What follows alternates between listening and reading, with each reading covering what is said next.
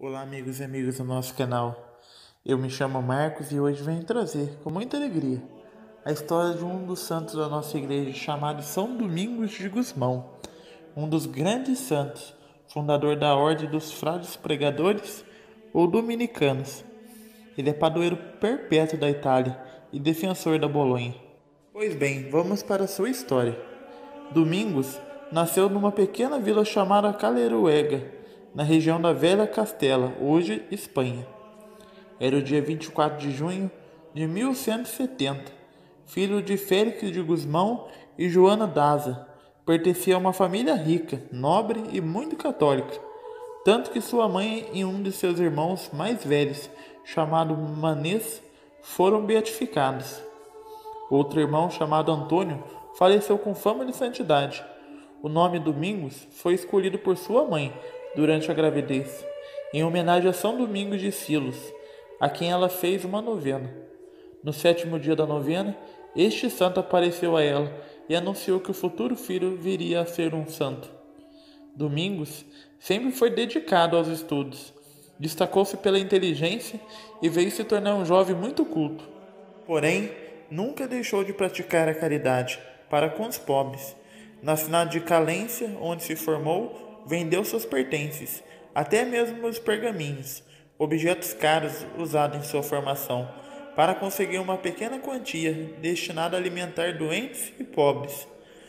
Na juventude, sentiu-se chamado para o sacerdócio. Assim, ao completar 24 anos, foi ordenado padre. Foi trabalhar na diocese de Osma. Lá distinguiu-se pela inteligência e pela competência no exercício do ministério. Por isso, foi convidado pelo rei Afonso VII para ajudar na diplomacia de seu governo. Também foi convidado para representar a Santa Sé em missões difíceis que precisavam de diplomacia e da sabedoria que vem de Deus. No tempo de São Domingos de Gusmão surgiu uma heresia conhecida como Heresia dos Albigenses, ou Cátaros, cujas raízes atuavam no sul da França. A heresia consistia em disseminar a doutrina da reencarnação entre os católicos. Por isso, o Papa da época, Inocêncio III, enviou São Domingos para lá, acompanhado de Diego de Aceber, seu companheiro, porém faleceu repentinamente e São Domingos enfrentou sozinho a difícil missão na França. Inspirado pelo Espírito de Deus, ele cumpriu a missão com máxima eficiência Usou para isso a verdadeira pregação da palavra de Deus e o seu testemunho de vida. No ano 1207, São Domingos procedeu à fundação do primeiro mosteiro da Ordem Segunda, destinado a mulheres. Foi na cidade de Santa Maria de Proudin.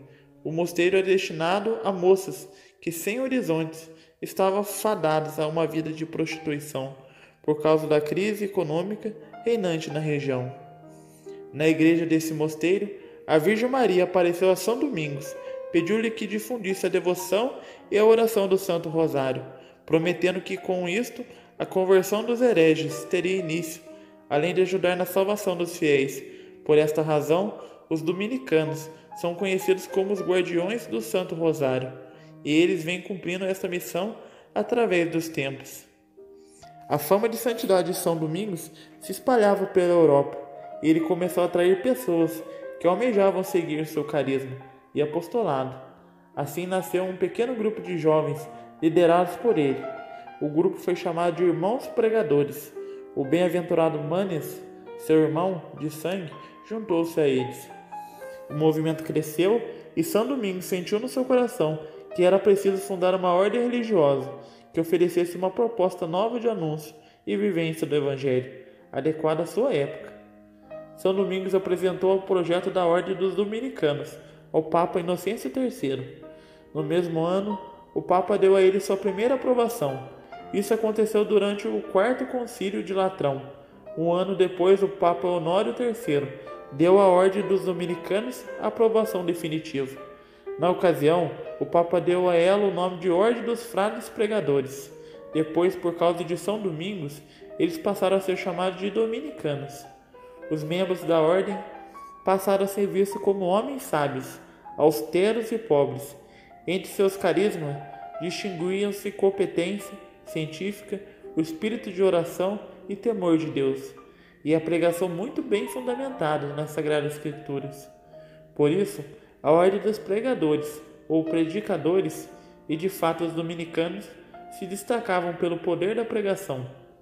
Em 1217, São Domingos emitiu uma determinação que se criasse novas casas dos dominicanos, os principais centros universitários da Europa. Na época, esses centros estavam em Paris e Bolonha. Seu objetivo era atrair jovens acadêmicos para a vida religiosa, e ele conseguiu. O próprio São Domingos decidiu viver em Bolonha, Itália. Lá, além de atrair os jovens por sua santidade, sabedoria e inteligência, ele se dedicou ao desenvolvimento da sua magnífica obra.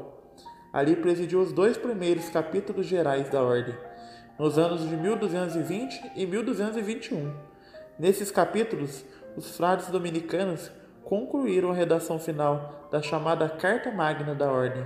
São Domingos de Gusmão viu a Ordem dos Dominicanos florescer na Europa, trazendo um novo alento à Igreja, a ciência unida à fé e à piedade. Os dominicanos se tornaram grandes pregadores que arrebatavam multidões e defendiam a fé católica contra heresias e desvios perigosos. Vendo sua obra no caminho certo, ele faleceu quando tinha apenas 51 anos, em 8 de agosto de 1221.